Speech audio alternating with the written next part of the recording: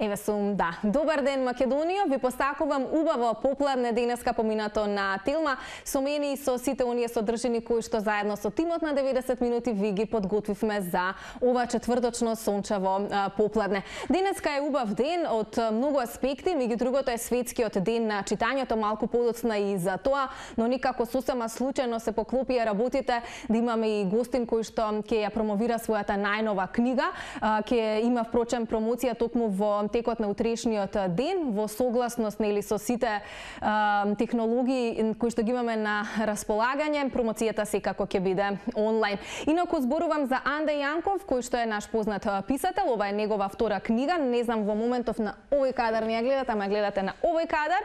Виенски гамбит се нарекува книгата која што токму денеска ќе ви ја промовираме со Анде и тоа за многу скоро. За него зборував и во текот на емисијата сега како ќе му дојде во вторникот, меѓутоа нели заради они оправдани причини, вклучувањето во живо на пресконференцијата на министерот за здравство, ни бевме во можност да го реализираме интервјуто, затоа денеска ќе се обидеме и тоа за многу многу многу скоро да воспоставиме комуникација со Анде.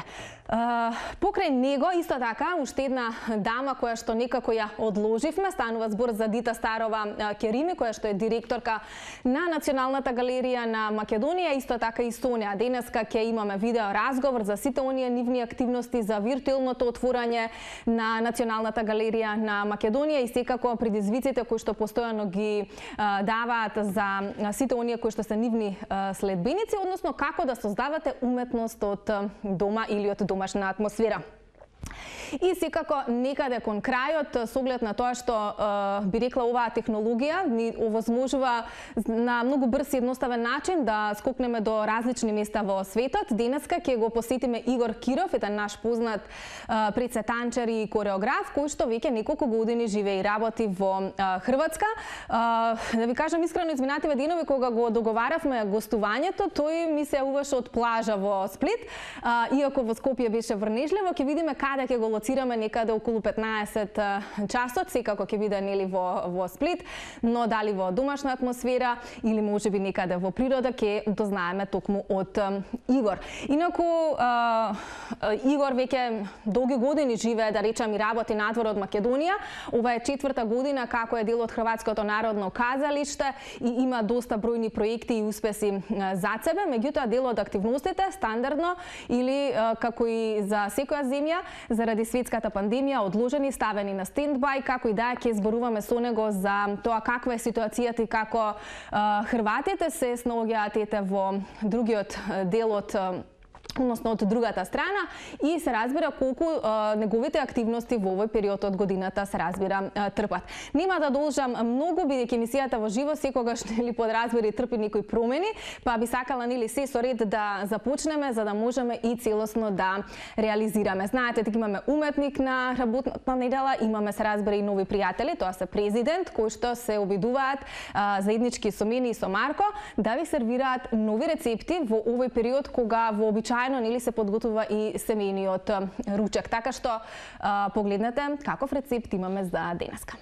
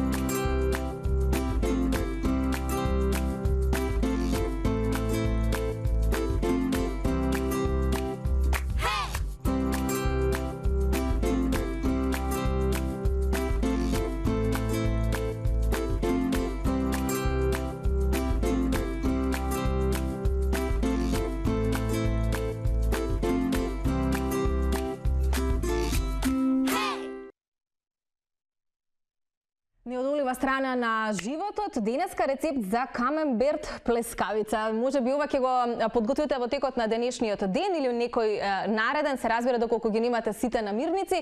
Се надевам дека бевте брзи и експедитивни, запишавте се што треба и дека токму рецепт ќе се најде на вашата трпеза. Некаде кон крајот, некаде пред да завршиме, се разбира ќе го погледнеме уште еднаш. Инако сега го поздравувам Анде Јанков, кој што би требало да го лоцираме дома на работа, каде? Анде, добар ден ти посакувам. Поздрав до, до вас во телевизија Телма и до сите гледачи на вашата емисија. Поздрав, Анде, само не разбрав, те ногема во твојот дом или може би на работно место? Не сум, јас сум на работното место. Добро, да. значи колегите верувам нема да, да замерат, се со цел да си не, направиме не... убав муабет. Пред сега те прашам, да. како си со оглед на тоа што токму утре некако сме во пресрет на таа утрешна онлайн промоција која што ќе се случува на твојата најнова книга, инаку втора поред, Виенски гамбит. А, па, еве, пред нели да зборуваме и за промоцијата, кажи ми како си го поминуваш овој период со оглед на тоа што еве одиш и на работа, верувам дека а, не ти трпат, не трпи многу промени твоето секојдневие со оглед на целата оваа ситуација. Па, секој дека, нели, исто како повеќето фирми, тука и моменталната моја направи некои си промени однос на работното време, деломно сме од дома, деломно сме од работа, меѓутоа uh -huh Па, се однесува до хобиото моја и пишувањето, овој корона моменти се, да речеме, некако доста погодни за пишување, се надевам дека ќе помине што е можда побрзо, меѓутоа, ако ништо друго, карен Само да видиме дали е... Тински, барем ние писателите имаме многу повеќе време Да, имаме некаков проблем само со комуникацијата. Анде, дали се слушаме? Да, да, мислам дека малку нешто се помести, али окей. Добра, секако кога станува, кога зависиме од интернет технологија, можни се и вакви работи. Да. А, знаеш како, требаше да те имаме во вторникот, но еве сплетна околности и случајности ти имаме токму денеска, а денеска е всушност и светскиот ден на читањето, па некако се поклопуваат работите и токму а, новој ден драго ми е што ден, а, ќе ја промовираме за сите гледачи кои што се во моментов на Телма, твојата нова книга, а, инаку втора а, поред вие Виенски гамбит. Кога официјално беше издадена со оглед на тоа што утре и промоцијата и што зборуваш во овој нов роман? Значи книгата испадна на 1-2 април, значи на почетокот на месецов. Секако се планираше да има и нели традиционална промоција, меѓутоа со оглед на ситуацијава решивме да. да одиме прен со онлайн промоција, понатаму здравје Боже нели да си дојде редовно традиционална промоција. Инаку книгата е, да речеме, еден крим и трилер, кој што замислен е како прв дел од еден серијал, кој што се надевам ќе тера со некои 7 или 8 книги, ќе видиме и понатаму. Верувам дека ќе им биде интересно на читателите со оглед на тоа што ме знаат како веќе како автор на едно лето на Крит, тоа беше некој си прв роман, деби роман кој што имаше трилер елементи, меѓутоа беше да речеме малку за помлада генерација, а сега ова е веќе па, да речеме сите љубители на добар крими и на трилер им се свијало верувам насловот. Анде, пред колку години беше едно лето на Крит? Ако не се лажам, 4-5 може би веќе има, или? Да, точно, то, точно 4 години, uh -huh. сигурно се сеќаваш, јас бев и кајала во емисија, да, во утринското шоу се дружевме. Да, не беше 90 минути, каде што ја промовиравме, нели, исто тој настап помина доста добро кај читателите. А, верувам дека сега овој е виенски гамбит и понатаму книгите што би спаѓале како положение во серијал би биле уште по уште по повеќе барани. Зошто периодот 4 години? Вообичаено се вели дека за авторите и писателите не треба да се поставуваат вакви прашања, бидејќи тој наплив на инспирација не се знае кога ќе дојде. Меѓутоа, сметаш дека тоа е доволен простор или може би многу чекаше за да го издадеш ова твое ново дело? Па, да речеме дека може би малку повеќе време помина колку што сакав, меѓутоа верувам дека сега е откако веќе не излезе романот, следните делови или продолженија би си оделе на некои си пократки интервали, не? Али во секој случај има време за да напишам книга баш онака како што посакував. Па добро, ти најавуваш многу продолженија на овој крими трилер. Тоа да, гледачите да, ќе го слушнат и верувам дека откако ќе ја прочитаат оваа книга која што инако е издание на Антолог издавачкиот центар кои што се наши драги пријатели, веројатно и ќе очекуваат наскоро да ги имаат продолженијата кои што ги најавуваш.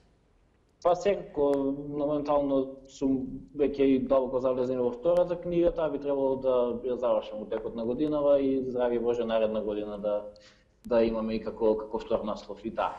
Одлично. Анде, кажи ми каков е планот за утрешната онлайн промоција? Споминавме книгата е многу таза, некаде 1 2 април беше официјално излезена од печат. За жал, нели не, не сте во можност да направите она што би рекол ти традиционална промоција, да се соберат многу љубители на убавиот пишан збор, но сепак во согласност нели со технологијата и нели сите работи кои што ни се случуваат овој период, сепак промоција на ова дело ќе има и токму во текот на утрешниот ден. Па иве да ги покажам поканиме гледачите кои што се твои поддржувачи, кои што сакаат да дознаат нели малку повеќе за ова дело, каде во колку часот ќе може да се сретнат нели виртуелно и со тебе. Предпоставувам дека после твојот говор веројатно би имало и прашања на кои што ќе може да одговориш. Да, така е замислена таа онлайн промоција во рамките на ЕСАМот на издавачката куќа Антолук. Истото ќе биде утре од 7 часот и 15 минути на вечер Значи само што ќе почне карантинно, луѓето ќе може да си седнат на Facebook да се прикачат, да се закачат на Facebook страницата на издавачката кој Антолог и да проследат заедно со девојките од Антолог. Ќе имаме онлайн промоција, секако со прашање нели кои што читателите mm -hmm. може да да поставуваат врска со романот или со мене. дали а, за прв пат пишуваш крими трилер? Или и, и... Uh, едно лето на Крит беше нешто слично. Мислам, да, е, па едно лето на Крит беше да, драма, љубовна драма, али и трилер секако, меѓутоа ова е веќе класично детективска приказна, каде што и ликовите се повозрастни, главно mm -hmm. е инспектор на делението за крвни делекти во Скопје и истите ликови верувам дека ќе ќе се сетнуваат и понатаму во серијалот. Да, Виктор Николов е главниот лик во uh, Виенски uh, Гамбит, така некако му доаѓа? Да. Од она да. што можам да го да го видам, колку а, за тебе Анде пишувањето крим истории, крими приказни, те истражување, детективи велиш, е можеби посебен а, предизвик кога ја создаваш приказната, затоа што сето тоа треба да е многу нели комплексно и испреплетено за нели од старт да не му е јасно толку многу на на читателот, меѓутоа нели со последните страници веќе приказната да се разјасни. Првите обично секој писател ќе го кажува, најчесто ја пишуваме онаа книга која што сакаме и самите да ја прочитаме. Mm -hmm. И сите оние автори што ќе нема да останат немно дело и би, би продолжили да пишуваат, ќе го повторат тој процес со секој нареден наслов, секоја наредна книга. А, во секој случај сакам таква литература да читам, да. Ова нешто да речеме дека завлегува и во рамките на неоноир, не знаеш скандинавски моменти, она mm -hmm. атмосфера и било што преточено за нели македонски читател, бидејќи ликовите како што рековме се се македонци, а намерно првичниот наслов го да биде негде настрана, со цел да што знам да речеме, да добие малку некој си шмек и самото действие, меѓутоа и, и Вие, Виена е секако прекрасна како град и се поклопи некој со наслов ќе верувам че целите ќе ќе окопчат сето тоа што значи нели на кој ќе завршат читањето на на книгата. А, во делот твоите би рекла промотивни фотографии кои што ги објавуваш по социјалните мрежи, а, секаде стои шах. Еве и тука имаме шаховска фигура. Која е поврзаноста или да. треба да прочитаме а... да знаеме? Па речеме дека нели очигледно првиот збор е бидејќи е во Виена, меѓутоа виенскиот гамбит е, е на вариација на на гамбит на, на кралев гамбит во шахот. Mm -hmm. Тие што се љубители на шах би знаеле што значи тоа, нели, а сите останати ќе мора да изгуглаат, нели, и потоа да прочитаат крајот на книгата за да знаат зошто баш така да. е насловен. Добра причина за да се купи пред ова дело и се разбира да се прочита. Верувам дека а, истата е достапна и онлайн и да им покажеме и а, да ги насочиме впрочем гледачите како може да си ја добијат во своите домови. Да, значи книгата е достапна на веб страната на издавачката кој Антолог, mm -hmm. исто така на Купи книга. Повеќе информации излизата може да најдат таму или пак на мојата веб страна andejankov.com. Секако книгата е присутна и физички, меѓутоа зависно од сите нели книжарници кои што во период работат или не, од том потом понатаму ќе кажеме каде се ќе биде достапна, нели?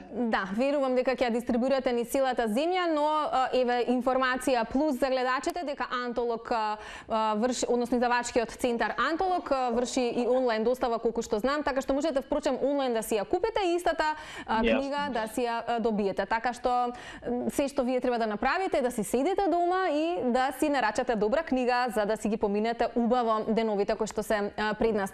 Анде денеска споменав 23 април светскиот ден на читањето. Верувам за тебе како автор значи овој ден. Постојано апелираме дека многу е важно да се чита, бидејќи читањето и знаењето се моќ впрочем. Меѓутоа еве некако пред да се одјавиме да препорачаме дел од твојот читачки избор. Што читаше периодов или можеби кога пишуваш не, не читаш други книги и или можеби што ти е во план да прочиташ некоја препорака еве за гледачите?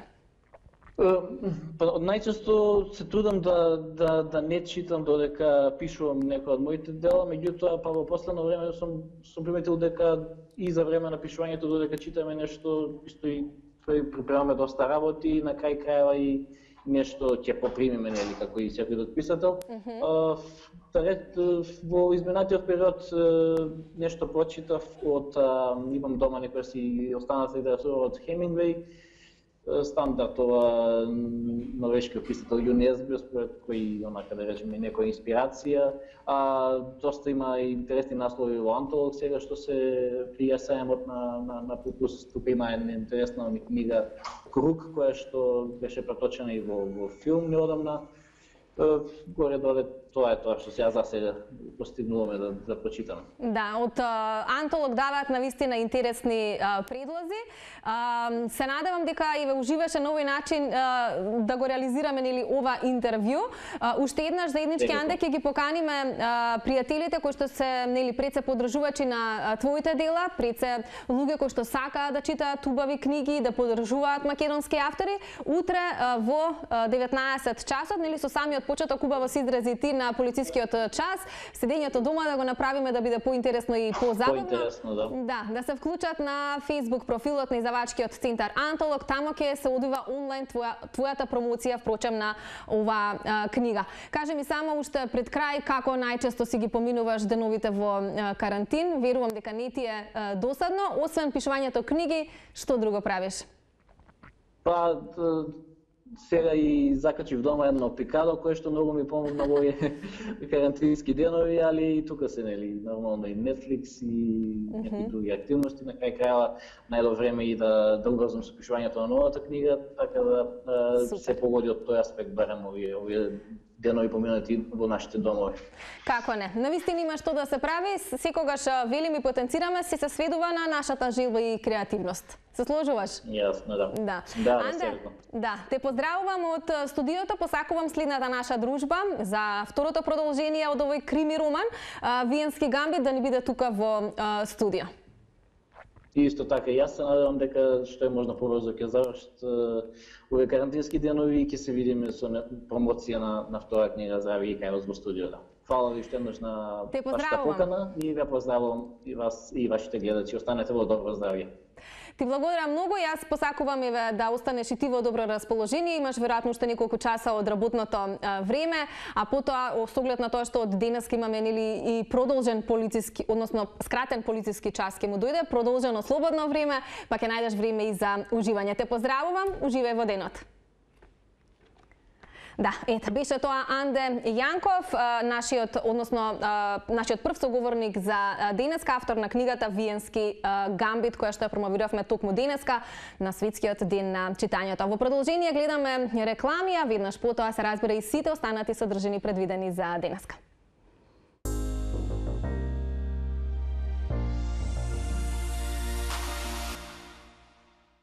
Да, Телма ви ветува одличен а, филмски избор и за предстојниот а, викенд, почнувајќи се разбира од а, утре.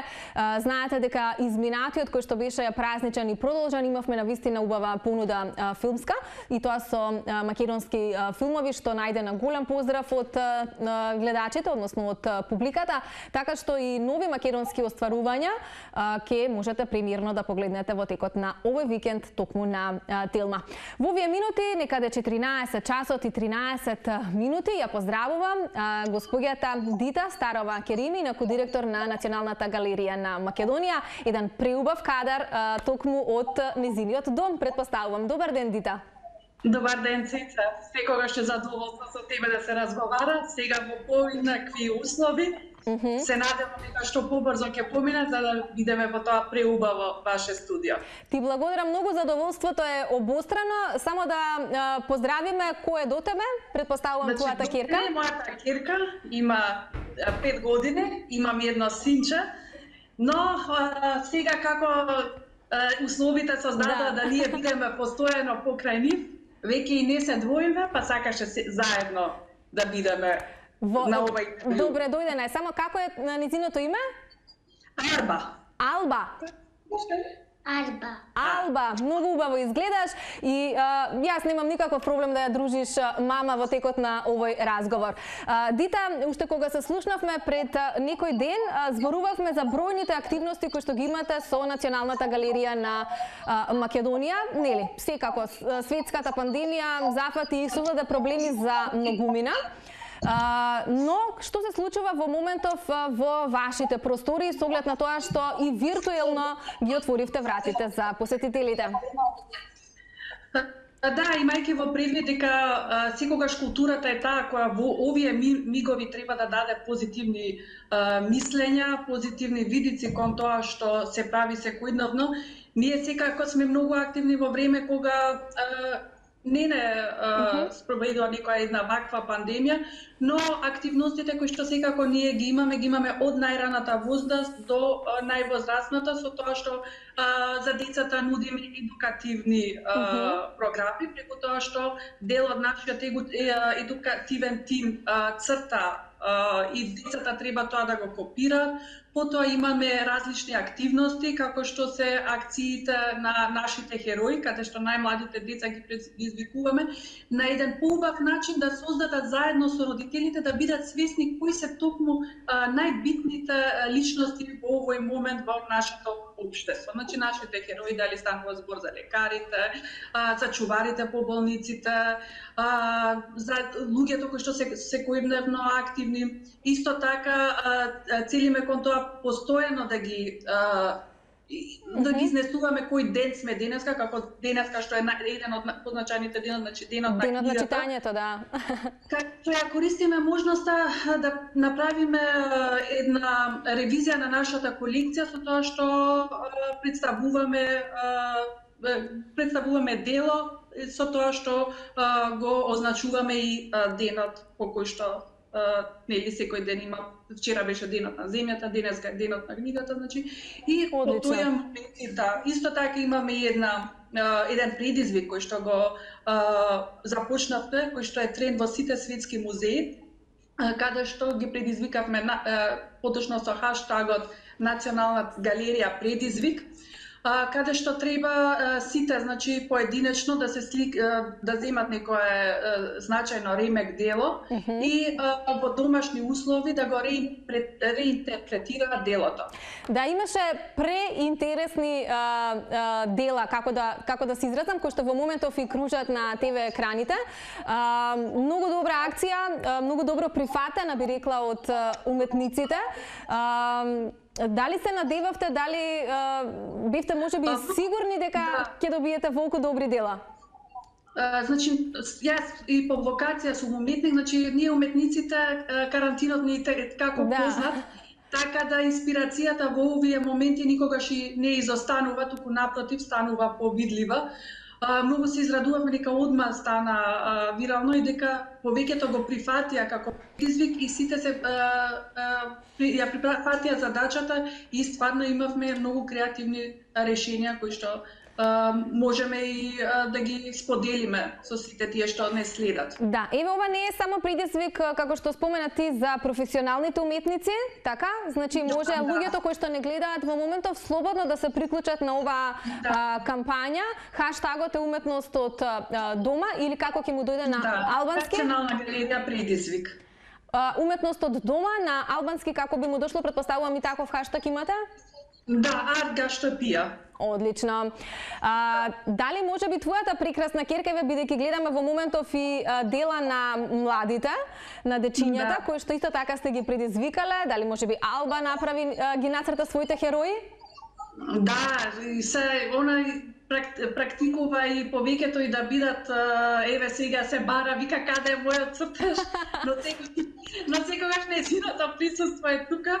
А, сега имаме и во одреден дел од домот каде што и незините дела ги изложуваме и нези- Мгм. незиното браче и каде што го имаме насловено како наша а, изложба, домашна изложба. За да Одлично. ги или за да го одвлечеме вниманието дека се секојдневно дома, дека не можат да излезат, дека се тука покрај нас и ние треба тие што сме тука позитивноста да ја споделиме со нив. Како не, јас верувам дека на голем дел од родителите, особено оние со помали дечиња, воопшто не им е едноставно по дома, но еве се наоѓаат начини, се обидуваме сите ние нели на некој начин да анимираме и преку ТВ екраните и семејствата сами дома нели да да си создадат една убава атмосфера. Генерално Дита како вам ви поминуваат деновите по дома? Секако пак со децата со активности, нели се вративме сега на домашните активности, Да. секогаш приоритетни беа активностите кои што се поврзани со работата. Сега конечно се вративме значи со разговори со децата, креација со децата, готвење со децата, Исто така не изостануваат ни обврските кои што се работните обврски, сепак под наше раководство се четири музеи, четири објекти. Мгм. А, сакам една а, голема благодарност на сите тие што нели а, кураторите се тие кои што работат секојдневно за да имаме таа програма од дома, но Да. а, чуварите и техничкиот персонал кои што во ниеден момент овој месец значи а, не а, се повлека од своите работни задачи, туку го чуваат музеот како што а, секој во својата професија тоа го прави најревносно. Но а, посебна благодарност до нив кои во овие моменти се главните чувари на, наши, на нашето национално богатство. Дали имате информација колку луѓе а, може би го посетуваат, не мора дневно, меѓутоа дали има интересите за таквите виртуелни прошетки во музеите? Знаете како, ние и а, сме учеле, значи по тие книги секогаш а, а, тактилното и а, очното видување на некое дело не е секако исто како што тоа е а, виртуелното. Да, многу е побогато, но во овие услови ние имаме можност да патуваме на секаде низ Да. светот. Значи музеите се отворени а, и во Америка, и Секаде, во Европа. во Нью Значи, Йорк, има- Италија, читавме Париз, Шпанија, еден, мислам буквално најголемите во Лондон, најголемите музеи се достапни. Археолошки истражувања ни се достапни, Да. така да целото ова има и таа добра можност која што секако а, а, не заменува а, вистинската вредност на, глед, на, на гледањето а, во, во живо, живо, но и ова едно спиритуално, едно а, надокнадување на тоа што може би и не а, секогаш можеме да го а, согледаме. А, посетеноста е голема, значи колку што гледаме Одлично, да.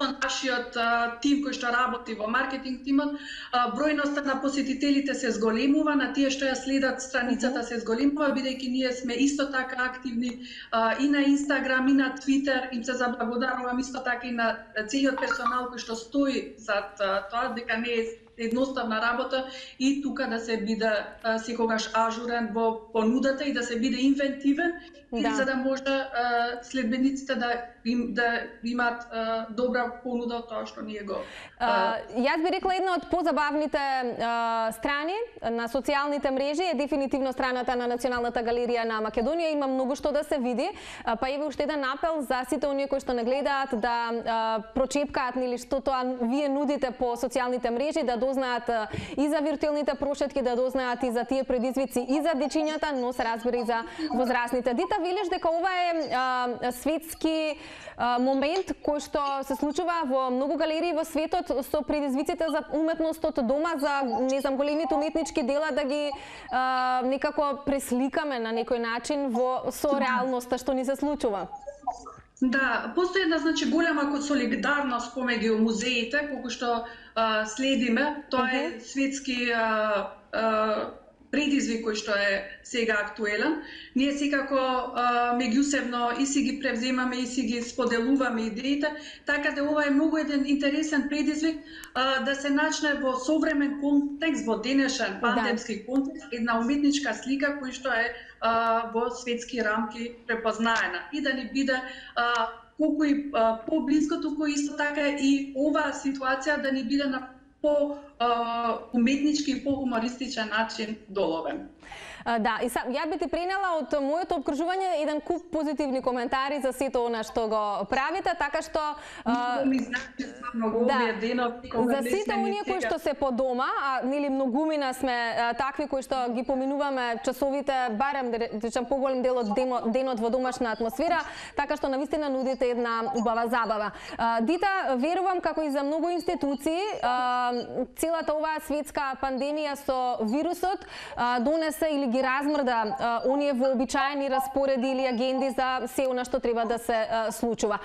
Генерално, кога да речам престана вашата работа во Националната галерија на Македонија, односно што публиката имаше можност да види, а што е она што беше најавено, но сепак нели го ставаме на стендбай или на одложување во блиска иднина. Знаете како, кога станавме свесни дека една, еден микроскопски вирус Еден невидлив непријател. Да, го сврте целиот свет кон на трештата, значи кон повлекување на се тоа што требаше да биде. А, ние секако ја имавме најавено нашата традиционална изложба по повод а, жените. -huh. Во март требаше. Изложена ни беше изложбата Женскиот акт која што секогаш ја почнуваме со, а, голе, со, со голем интерес од публиката и ни значеше многу таа изложба да биде отворена, но секако моравме да откажеме, бидејќи здравјето е приоритет за сите, прво за вработените, за посетителите, но секако програмата нема да изостане и во текот на годината и ќе следат многу активности кои што ќе бидат а, значајни за публиката Исто така остануваме отворени uh -huh. и а, дел од програмата која што ни беше наменета во, за публиката uh -huh. која што требаше да биде изложена, ќе оди виртуелно изложена и ќе биде изложена во а, тековната а, во тековните месеци. Се надевам дека ова нема да продолжи, секако нема да биде исто. Нормално. А, да, претежно колку што гледаме и во светските музеи, маските ќе бидат секако задолжителни. А, задолжителни, да. А, ќе ќе имаме една нова ситуација која што ќе не воведе во едно ново нов начин на размислување. А, секако културата се виде дека еден микроскопски, како реков, вирус да. создаде една едно друго гледачте кон културата. Видовме дека без културата не се може. Не се може без да се прочита една книга за да не доведе во едно во еден друг свет без креација да да ни го одлече вниманието од овие тешки мигови. Значи културата е таа која што историски највеќе обстојува и ги а, надминува сите пандемии и а, секакви непогоди. А, многу убаво срочено, некако како за финиши на овој разговор Дита, а, со голем дел од соговорниците кои што сега нели ги имаме нови начин виртуелно, а, велиме дека ова е еден а, ти убаво кажа микроскопски како како се изрази само да не погрешам? Микроскопски вирус. Микроскопски вирус, многумина го нарекуваат невидливиот непријател, меѓутоа да. голем дел од луѓето велат дека ова е еден знак можеби на планетата Земја. Вчерашниот ден убаво спомени ти беше официјално и светскиот ден за планетата Земја, така што велиш и самата се вративме на можеби семејството кое што е корен на се, на сите вистински вредности, зборуваме повеќе со децата, им се посветуваме повеќе на децата, на партнерот, партнерката, на блиските, кажуваме многу повеќе те сакам на родителите и на луѓето кои што ни значат, така што мислам дека само позитивни лекции ќе излечеме од целата оваа ситуација. Позитивни бидејќи нели домовите ни беа пропратни места каде што само да. поминувавме, е сега знаеме дека значењето на домот е многу поголемо од тоа дека само пропратно, а сите настани се случуваат надвор, не напротив. Прво се зацврстува трешниот дом за да после и надворешниот се создаде во сите услови кои што треба да продолжиме. Дита, тука некаде ќе ти заблагодарам уште еден апел да испратиме до гледачите кои што не гледаат. Отворени а, се на некој начин би рекла не конкурс, меѓутоа кампања една многу интересна на Националната да. галерија на Македонија под хаштагот Национална галерија, галерија или National Gallery, а, што друго следете дома? Херои, херои там, на албански. На албански. А, исто така националната галерија Предизвик. Значи да да не следат на, на нашите страници на Инстаграм, на Твитер. Секаде сте активни, секаде ве има. Да. Дита, ти благодарам многу, беше преубаво интервјуто. Поздрав до тебе. Беше посебно задоволство и да се биде во вашето прекрасно студио и со твојата прекрасна аура која што имаш секогаш и позитивна, која што доведува до посебни емоции, но и овој начин еве малце да се разговараме и да споделиме да ги споделиме нашите искуства. Бидејќи сте дома, ова на некој начин ви беше професионален ангажман, меѓутоа сега на што ќе се препуштите? Што ќе правите со Алба? сега, како што рекла, ни рекоа нели дека полицискиот час е продолжен, да. сега на една мала прошетка, бидејќи највеќе што им треба е Како не. И времето е а, преубаво, ве поздравувам, останете пред се во добро здравје и расположение. Па, ти што во ова друштво не интервјуираша. Одлични бевте. Испраќам бакнежи и ве поздравувам. Останете во добро здравје. Чао. Да, ете така беше тоа прекрасната Дита Старова Керими, наку директор на Националната галерија на Македонија. Слободно посетете ги а, нивните страни по социјалните медиуми на Facebook, на Instagram и на Twitter, како што и таа сама спомена. На вистина бројни а, предизвици кои што ги креира целиот тим на Националната галерија на Македонија, можете седењето дома да го направите многу позабавно и многу покреативно за целата околина. Само да не заборавиме и да додадеме дека виртуелно отворени се вратите на некои од музеите во нашата земја, така што ете, може една виртуелна прошетка добро да дојде а, секому. Кога веќе зборуваме за уметноста, знаете дека а, тимот на 90 минути и ова шоу од самиот почеток постојано ги поддржува уметниците, особено а, домашните. Секој понеделник ви нудиме нов уметник на неделата, инакува скратена работна седмица го имаме а, господинот Владимир а, Темков, кој што е родом од Кавадарци и во вторникот имавме интервју токму а, со него. Тој твори повеќе од 4 децени, повеќе од 40 години присутен а, со бројни бројни изложби, што самостојни, што групни, не само во нашата земја, туку слободно можеме да кажеме дека неговите дела допреле до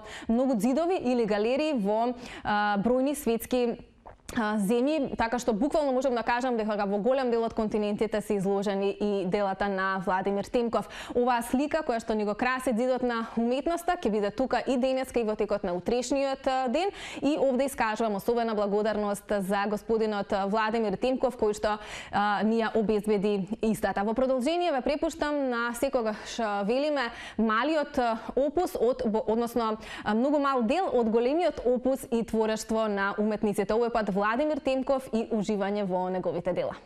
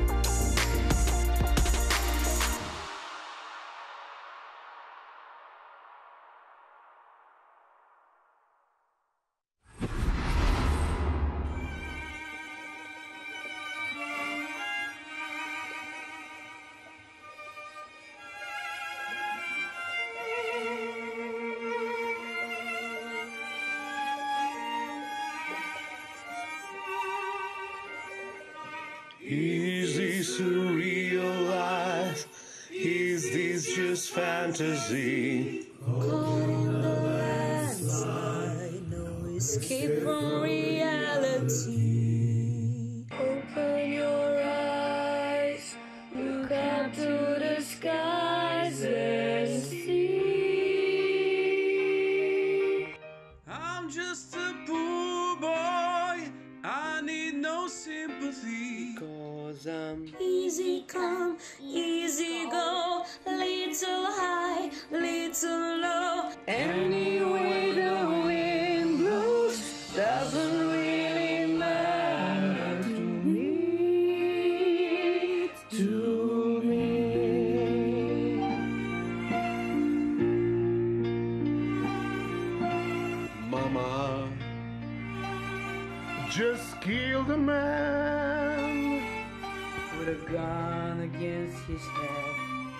Trigger, now he's dead.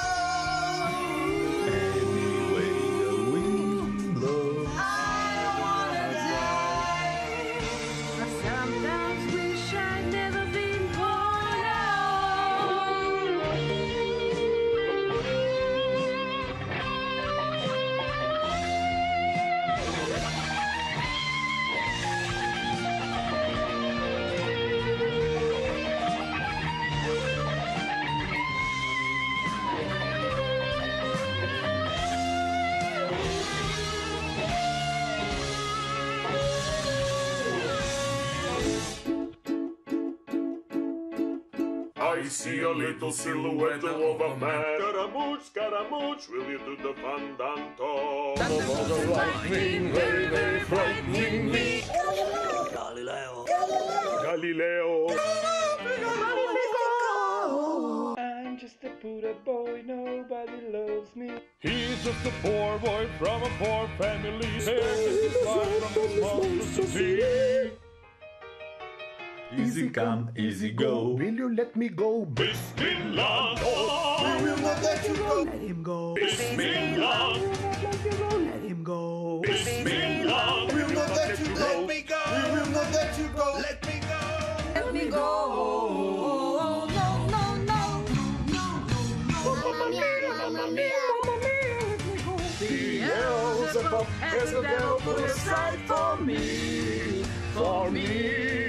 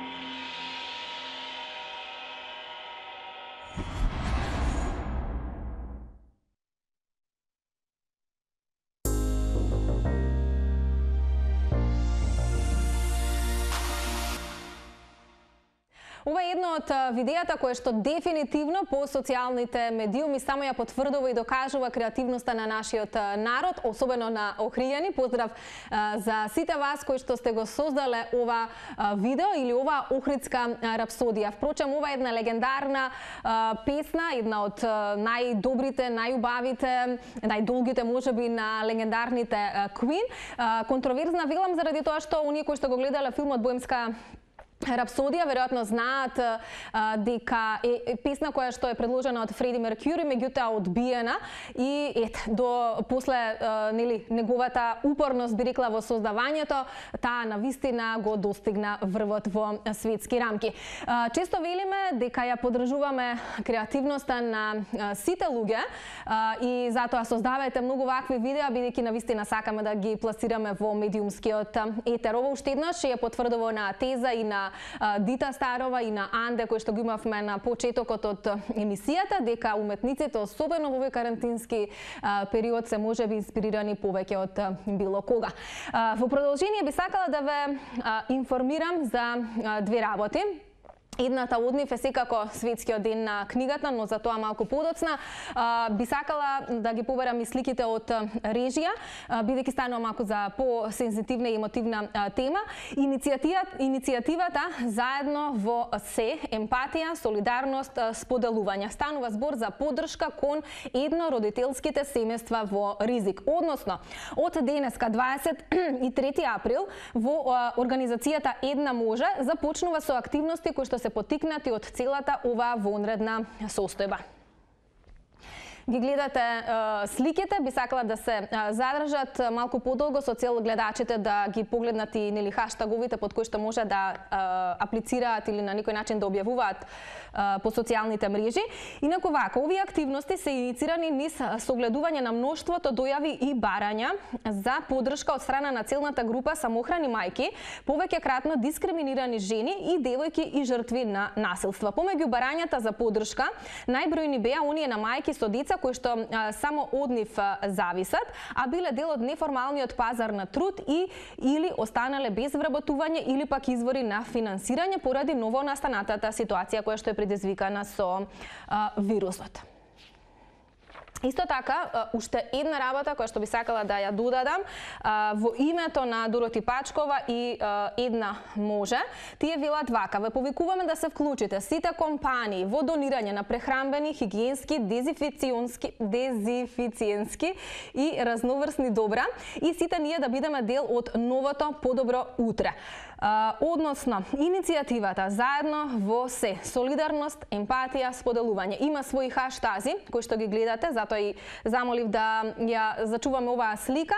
Значи под овие хаштази на кои што ќе можат да учествуваат сите оние компании кои што нели ќе донираат, а се разбира сите оние кои што ќе донираат ќе им бидат издадени признаници за учество во оваа благородна мисија и сите прибрани донирани добра ќе ги насочат кон најран најранливите семејства, а сите активности може да се следат јавно на Facebook страната на една може.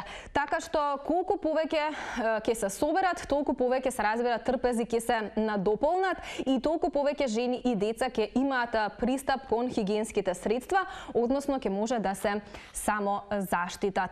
Така што се надевам дека ги забележавте тие хаштагови под кои што можете да ги побарат или да побарате целата оваа кампања, велат итни интервенции за справување со кризната состојба во оваа 2020 година. Ете така, а втората информација е една убава вест и тоа неколку пати го споменавме во денешното шоу. Овој 23 април е светскиот ден на читањето. Би сакала ете малку инфо да ви дадам околу почетоците се разбира на овој светски ден. Инаку под покровителство наследство на УНЕСКО. Овој 23 април е назначен за светскиот ден на книгата, за прв пат инаку прославен во 1995 година.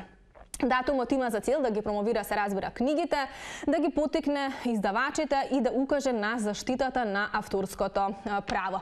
Честопати се вели читајте, зборувајте гласно и со тоа промените го светот, бидејќи на вистина читањето е мок. 23 април инаку бил денот на розите и не случајно е одбран како датум уште во далечната 1923 година во Шпанија кога продавачите на книги меѓусебно се договориле да му искажат почит на познатиот автор на Дон Кихот Мигел де Сервантес, кој што починал токму на оваа дата.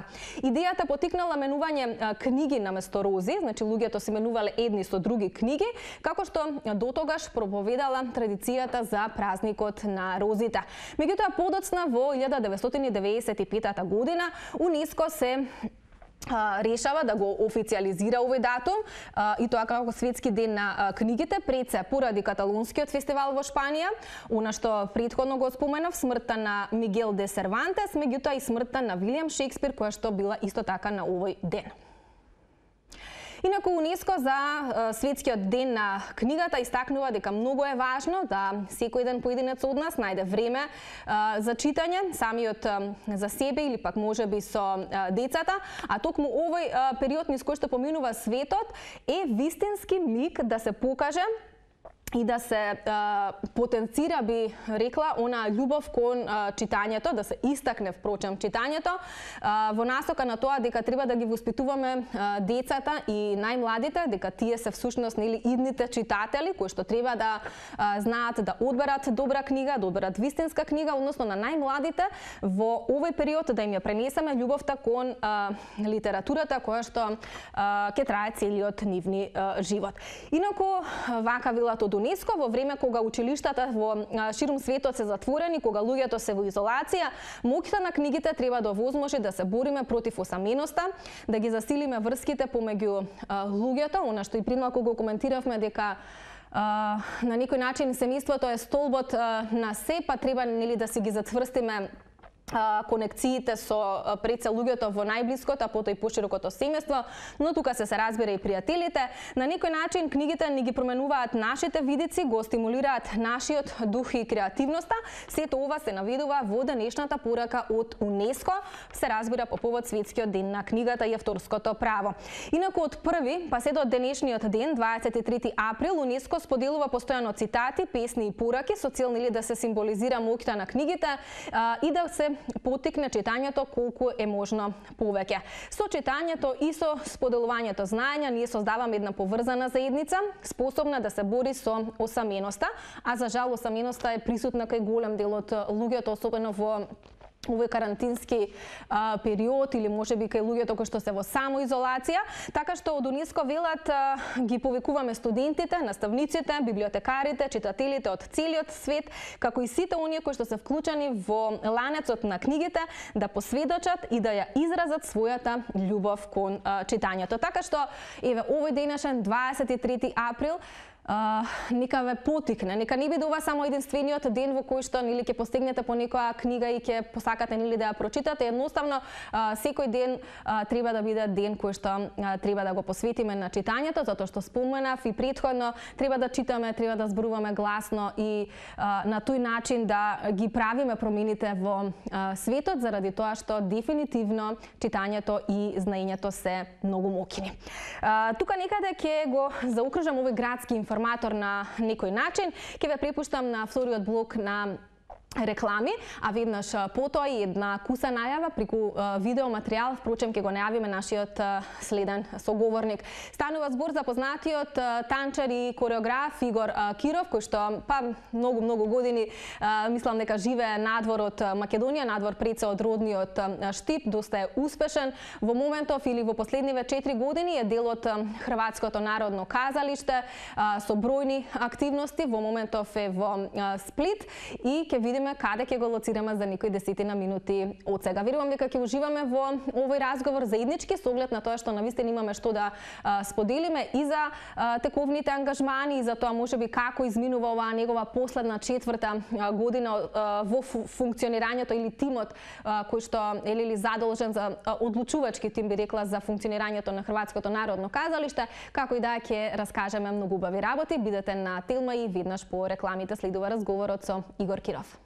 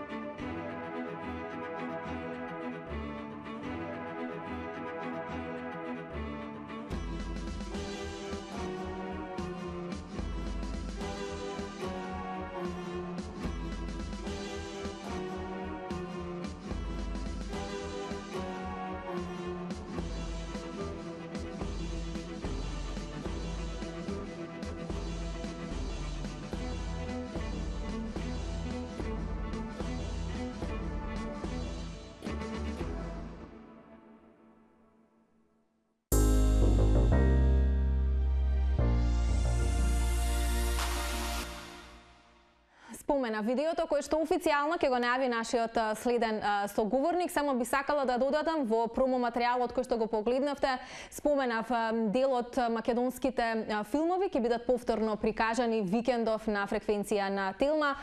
Покрај година на Мајмунот ќе имате можност да ја гледате и македонско-српската копродукција Реквием за господјата Ј. Така што навистина добри филмски моменти и понуди на Телма за викендов, нели кога ќе бидеме сите по дома да имаме што да правиме или квалитетно да се го исполниме времето. Како Игор Киров го исполнува времето, ќе ни каже а, токму во моментов. Јас многу завидувам на овој кадар. А, го поздравувам Игор Киров, јас од студиото на Телма од Скопје, ти мене од Сплит. Добар ден и поздрав до сите гледачи на Телма телевизија и првенствено поздрав до ДВЦЦ и до целата екипа која што ја реализира оваа емисија. Ти благодарам многу. Во принцип, секогаш сме имале нели добра соработка, се со цел да, Да. ја информираме јавноста за тоа каде си, што си, што те окупира периодов и така натаму. Гледам дека коронавирусот не ти влијае нешто многу многу и расположен си. Каде те лоцираме во моментов, бидејќи гледаме море во позадина? Така е, во- јас се наоѓам на плажа, моментално сум на плажа, каде што генерално го поминувам поголемиот дел од денот, а сам со себе, нема никој околу мене, а, а, уживам во морето, се бањам, а, вежбам, а, а, тоа ми е првенствено зато зашто и доаѓам на плажа, затоа што наш после одреден период дома веќе почна Да. самото тело да си бара, да има потреба. Мислам, како некој кој што се бави скоро со спорт, со уметност, со нешто што е физички активно, више а после недела две веќе самото тело почнува да траже, а имав среќа да на почетокот времето се уште не беше добро, но во последните три недели, а, еве, се будам, да доаѓам на плажа, а, уживам, вежбам, а, се тегнам, ги одржавам, се одржавам во колку што можам во кондиција нормално. Не исто кога ти си во студио, но барем да едноставно да кога ќе го дишеш воздухот покрај морето е исто еден голем плюс. Значи, оно што реков, фала Богу дека времето е добро, може да се бањаш, а се Тоа немаш да сакам да останеш прашам, пола дали може да се бањаш? Сега, јас сум, мислам, влегувам онако чи, чисто, чисто да се разгладам, што би се рекло, но има луѓе кои што ќе оно ќе влезете ќе дадат малку повеќе да пливат. Јас влегувам по 4 до 5 пати додека сум прекуден, али чисто на 5 минути само чисто ради циркулација на на Да, на, на тоа е крвта, добро за организмот. ти е- Да, плам плам. Одлично. А, Игор, а, ние споменавме неколку пати во текот на оваа емисија, а и јас и ти во разговорите кои што ги имавме изминатиот период кога го договаравме ова интервју, а, ми спомена дека ова е твојата последна сезона во Хрватското народно а, казалиште. А, меѓутоа последна сезона која што ја зафати светската корона пандемија. Е сега, прво ќе те прашам колку целата оваа ситуација се чувствува во Сплит. Како се таму регулирани работите? Како тебе ти се одвива секојдневието? Дали нели важат, предпоставувам горе долу си информиран за нели работите кои што се Да, случуваат да, и во да, да. нашата земја со оглед на тоа што семејството ти е тука. Меѓутоа една паралела да направиме каков е животот таму во моментов. Вака, а, Колку ти влијае прво тебе, прво- можеби Прво и негативно? прво и основно немаме полициски час, што е една добра ствар, каде што луѓето ја преземаат одговорноста самите на себе да останат дома или да се придржаваат од таа дистанца од 2 метра меѓу седно.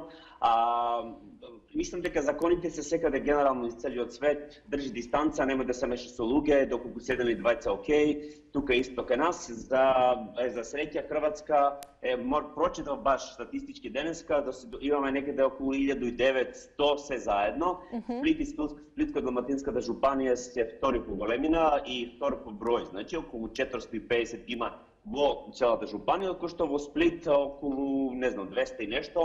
Бројот на заболени или ново заболени како го- да е се намалува. Во последната недела има луѓе само што оно жариштето беше во домот за старци.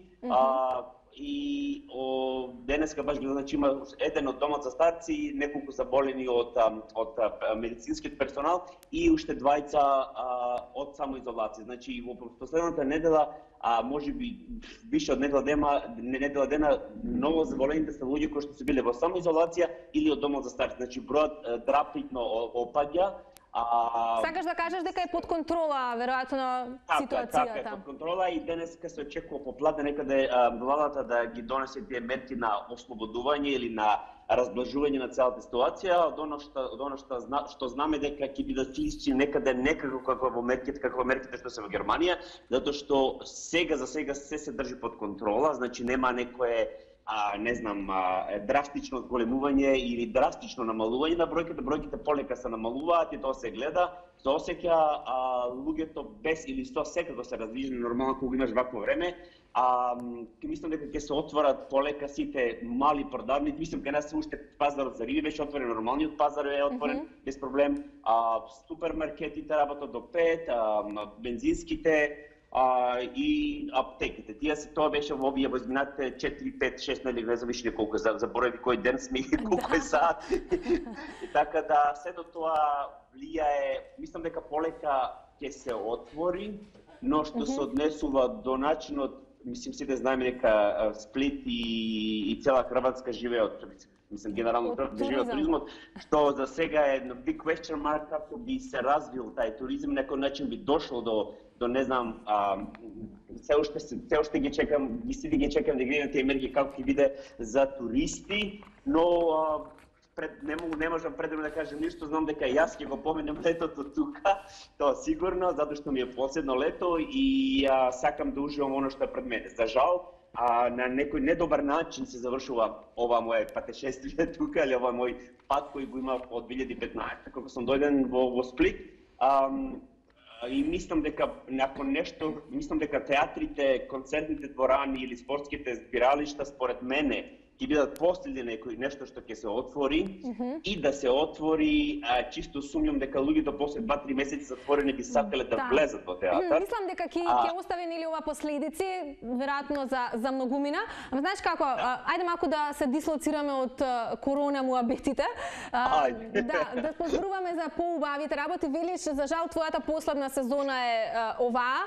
Какви 4 Да. години имаше во Сплит како дел од а, тој тим на Хрватското народно казалиште? А, да бидам искрен, ам, сум не задоволен, него презадоволен, затоа што успеав да направам а, од сплитскиот балет, или како што новините го најавуваат, да го преродам сплитскиот балет во нешто кој што прерасна во еден бренд кој што го знаат а, не само на Балканот, него и пошироко со сите нашите со сите наши гостувања, патувања, гала вечери, а, интернационални а, турнеи, а, гости педагози, гости, а, кореографи, а, с големен број на представи, а, ново направени представи, за прв пат влеговме во Лисински, што е едно големо плюс за мене, споделувачи смртта, за прв пат се појавивме на Дубровачките летни игри, за прв пат направивме копродукција со уште еден друг балет, тој е Риечкиот балет, а, за прв пат успеав да се да го поставам а, гусар или лекорса во во во, во целата хрватска а, историја, во, во историјата на хрватски хрватскиот балет. И за прв пат после 98 години од годинава почнавме а, да имаме своје основно балетско а, школа во, во,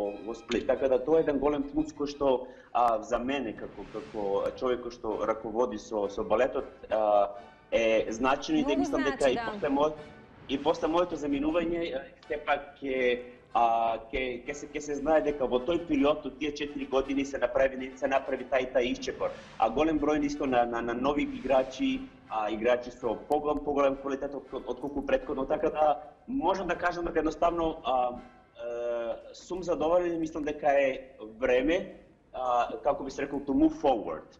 О, тешко, тешко е да се остави морето, тешко е да се остави ам, ова сето што го има тука, Ама но па не знаеш дека каде ќе те однесе патот или односно животот, или може би знаеш. Па, па ова корона, корона малку ми, ми порамите неколку, неколку ствари во, во моите планови, а, така да решив моментално а, да, да блокирам се што имам околу мене, се дека официјално не се стабилизира ситуацијата и од ќе се надевам дека некаде во јуни ќе почнеме да функционираме а, не зборам физички, него чисто за некои планови да се знаат прилика Да. по кој правец би се движело сето тоа, па да можам да некаде до крајот на летото да ги знам моите планови и идеи, и што јас имам и идеи, имав и планови и почнаа да се остваруваат и да се договараат договори се тоа што треба, но за жал а, моментално сето моментално сега се во а, еден голем статус кво.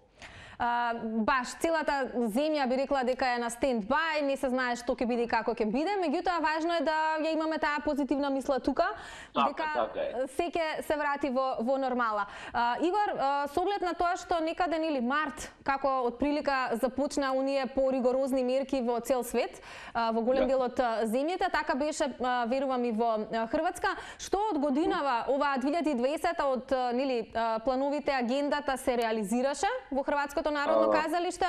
Што е дали има некоја некој голем спектакл кој што може би сте го најавувале, а нели не може да се реализира сега за сега заради целата ситуација? Па повака ние отворивме сезоната со а, посетување на проектот Игор Стравински во моја хореографија. Тоа ни беше значи започнување на целата сезона, потоа следуваше Орево Кршачка, следуваше Копелија, а се спремаше гала вечерта и уште една премиера која што требаше да има хореограф во Португалија, но за жал ништо не испадна од тоа. А јас работев во меѓувреме на новата опера, значи ја правев хореографијата и сценскиот покрет на операта а, од, од Верди Ломбардеци, кој што требаше премиерно да биде изведена на 27 март. За жал, тоа е откажано. Така, на исто, на исто начин се планираше и отварањето на Сплитско лето со кавалери Рустикана, каде што исто треба да ја правим хореографијата. За жал, мислам дека и цело Сплитско лето ќе биде откажано. За прв пат успеав е, еден, еден проект кој што го планиравме со Штипскиот народен театар, а, после 20 Со работка и, со и, да, да, да. А после 27 5 не, мислам дека више од 27 години да се вратам во Штип и да направам нешто нешто колку едно години? коре. Колку години? После па јас сум излезен 96 од Македонија, од Штип 94 значи да чуjem дека колку скоро му доаѓа колку 27 8 не знам сега колку точно години, значи еден долг период. Од емисијата кажав повеќе од 20 години си надвор. Па ја па таа ја 96 излегов од Македонија, а од Штип 94 Така Добро, да и што беше планот? Извините, прекинав. Со Штип? Не Со Штипскиот театар, така е. Штипскиот театар, да. А, Да, а, така да тука ми беа а, имавме план, јас се надам дека тие планови ќе се ќе се ќе тој та- таа представа ќе се Реализира? од реализира наредната сезона.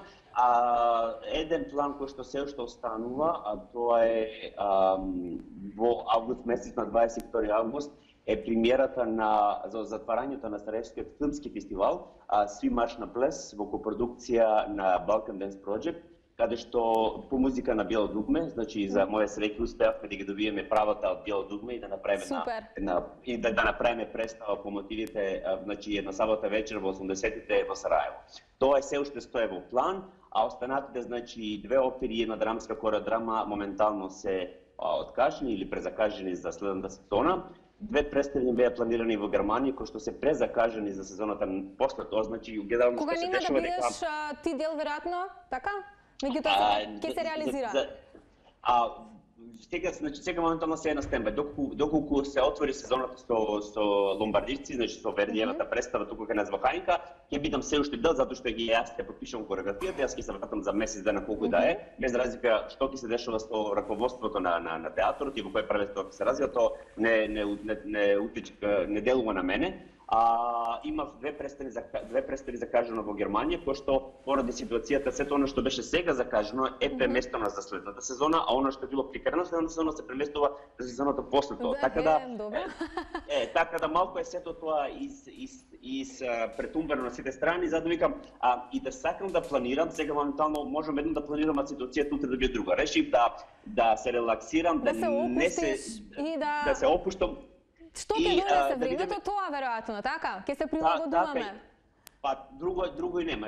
Знам дека тука сум сигурно до мој мојот договор завршува на 1 октомври, значи до 1 октомври имам имам таа стабилност и каде што сум, а после тоа се надам дека е доволен една разлика од- сега до октомври е до- доволно голем за да можам да ги испланирам или доколку се ситуацијата стабилизира да може да се испланираат сите а, сето оно што го имам предвидено. Да. Барем се надевам. А, Али знаејќи знаејќи ситуацијата како стои, мислам дека оно што реков дека а ние како како како балет, како а, танц, како а, денс, како го- како сад го како како god да го наречеме тоа што го работам јас, а, највише ќе пре, ќе претрпиме затоа што оперските пејачи можат дома да пеат, оркестарот може дома, глумците може дома. Единствено кој на кој му треба кондиција, тоа сме Да. ние. Значи после два месеци или три месеци затворени дома на, на нас ќе ни треба сигурно 4-5 недели да се вратиме во форма а, што е еден голем период и, и Да. а, обично максимумно е на неки на некој начин е добро 5 до 6 недели одмор после сезона за да може телото да се одмори, но знаејќи дека иако дома вежба, секој од нас се тегне вежба нешто, и прави Не нешто исто, како да е не е исто, не е исто. Така да мислам дека ние а, како како уметност највише ќе претрпиме, ја мислам, ја мислам дека не само ние, генерално цела цивилизација ментално трпи и штети на, на еден или Да. на друг начин, но уметноста како уметност затоа што сепак бара еден друг пристап на сето тоа. Да, Игор, а, некаде сме пред крајот, само ќе те прашам дали имаше нешто што сакаше, ама не се оствари нели во рамки на тој твој мандат кој што го имаше 4 а, години, меѓу другото нели ова е последната твоја година во Хрватското Не. народно казалиште. Не, се што благодарејќи на мојот генерален директор кој што работев, а, се што планирав, се што сакав, а, ми се ми беше дозволено затоа што барем тоа е моја претпоставка, директорот ја виде мојата визија или визијата која јас имам и начинот на кој јас размислувам, на кој го водам тој балет и сите мои идеи, мои претпоставки, мои а, како се каже, цел околу тоа што јас сакам да направам сценскиот балет направив и затоа викам дека и кога утре ќе заменам од тука јас ќе ќе ќе излезам знаејќи дека тоа што го направив ќе остане секој запишано во историјата на хрватскиот балет. Да, Игор, кога планираш во Македонија да се вратиш? Само не знам. не, Само не го Не знам. знам, не знам да мислам сите сме на стендбај, сите виде и чекаме, мислам сигурно дека оно доколку ми се реализира проектот во крај на август во во во како се вика Сараево, можно е после тоа да дојдам во Македонија, но мислам дека се јуни, јули, а, а, август сигурно нема да бидам. Крај на август поч- почеток на септември можеме да дојдам во Македонија. И ќе видиме, ќе видиме како се тоа ќе се развива, мислам а, Фала Богу дека имаме сите контакт со своите, имаш видео линк каде Да. што луѓето може да се комуницирате, никој на никој не му и многу полесно еве е, како се преселивме виртуелно во Сплит на плажа, така? Да, да. Да не се спремаш да се фрлиш во море или не? Да Па скокнеш. завршам со разговорот да бидем искрен, да, затоа што сега Се со шегувам. знаеш, како зборам, така сонце, го гледам на сонцето Да, позади, да, да. а адреналинот ми ми знаеш, сепак сум сепак сум на телевизија, така да кога ќе завршам, мислам дека прво што ќе направам, морето е денеска е малку ветар дува, а што значи дека е, е малку поладно за разлика од вчера, но за минут време внатре циркулација и за да се да се освежам ми е Да. супер. Еднаш и за мене, за колегата Жан зад Може. камери, може бањање? Нема... Може, може. Може. Мислам дека мислам дека на секој би му приело а, да влезе во Да. море. А, ти благодарам многу за овие ексклузивни моменти што денеска те вклучивме во 90 минути и ти посакувам успешна каква таква последна сезона. Јас верувам во тебе. Hvala. Hvala i na vas, hvala ti na tebe. Pozdrav do Site, sve koje je dobro, ostanete živi, zdravi, čuvajte se. И се надам дека ќе се видиме наскоро во Македонија во многу подобри услови. Се надевам и јас. Те поздравувам многу и уживај Поздрав до сите. во Чао, чао. да, ти благодарам. Игор беше тоа Игор Киров, еден наш познат танчар и кореограф кој што споменав го извршува својот мандат на од 4 години во поглед на раководството на Хрватското народно казалиште во делот или, или сегментот за за балет. А, така што ми беше и мене, верувам и на вас уживање овој разговор. Некаде сме и пред крајот, а стандардно од пред некој ден, пред крајот на емисијата, уште еднаш го пласираме рецептот на денот во соработка со президент, така што е оние кои што го пропуштија на почетокот, ќе имате можност токму сега да го погледнете и идеја повеќе или предлог плюс за тоа што можете да сготвите за вашиот ручек или можеби би вечера. Ве поздравувам, уживете уживајте во, како се вели, продолжиното слободно време. Можеме до 19 часот да бидеме надвор, да шетаме, да дишаме воздух, да уживаме во сонцето и така натаму. Само бидете паметни и одговорни. Се разбира, носете заштитна маска и, се, и почитувајте ги сите оние препораки кои што ги имаме. Јас ве поздравувам, веќе во утрешното петочно издание ве дружи Марко, а со мене се гледаме во понеделник. Имајте добар викенд од мене. Поздрав!